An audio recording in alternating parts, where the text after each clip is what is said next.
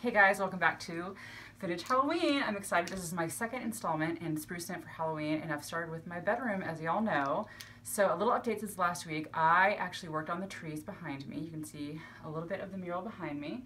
I decided I wanted to make the trees sort of realistic, um, and so I just used the same chalk marker and went through and picked one side of the tree that's sort of the light side and one's the shaded side. And so I went through um, and did that. But what's cool about it is if you don't feel comfortable with that, you can always um, just leave the outline too, because that looks good as well.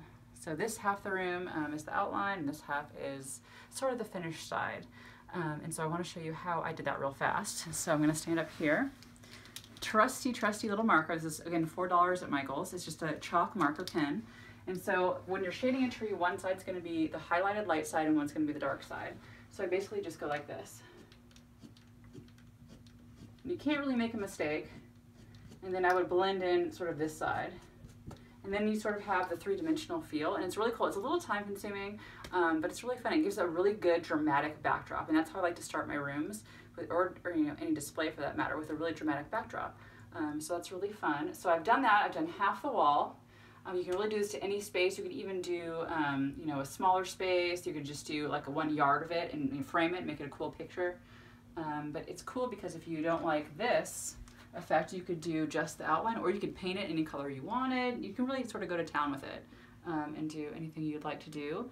Um, so that's sort of a fun project. So the trees are going.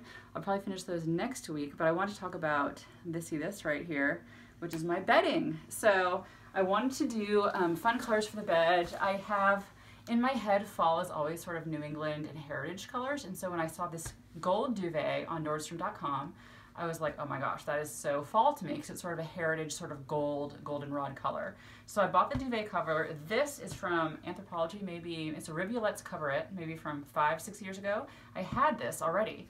Um, and I just love the color combination of the gold and this beautiful sort of dark, purpley, pinky um, fabric, and also the texture of the two together.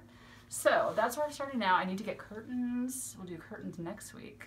And then I'm thinking maybe something with these lampshades. I'm not sure I like the lampshades, so we might be able to DIY something cool with that.